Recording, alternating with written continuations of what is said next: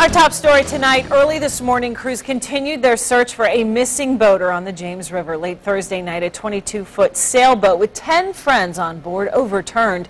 Five people swam miles to shore to call for help. Rescuers retrieved four others who had been treading water for hours. One of those rescued was later pronounced dead at the hospital. 10 on your side, Suri Crow has been following this story all day. She joins us now with the very latest. Suri? Yeah, Lori, it was an intense search today along the James River, an effort that has now been renamed Search and Recovery as opposed to Search and Rescue.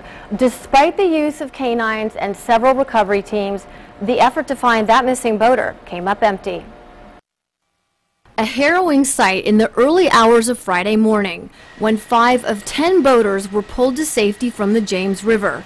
Disaster struck after the group apparently decided to set sail. This after a late night party in Newport News. Of the 10 people aboard, one young man is still missing. His name is not disclosed yet, but search teams spent the day searching the vast James River in an effort to find him. We searched a large section of the James River and called off the search around, around dusk tonight. And uh, we will resume the search tomorrow, and we will continue every day for as long as it takes to find this missing.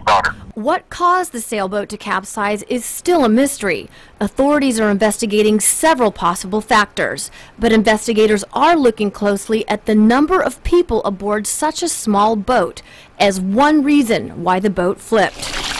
This theory doesn't surprise Rita Springer. She's been boating along the James for years. They get out on the water, they're young, they think they're never, they think they're invincible. And we see that all the time. You know, people think that they can do anything they want to, but you don't go out on a 22-foot boat in midnight. Marine investigators say they are committed to continuing the search. None of us like somebody leaving somebody out there and a case unresolved. Teams will start up bright and early tomorrow morning, and this time they plan to use an airplane to get a better view of the river.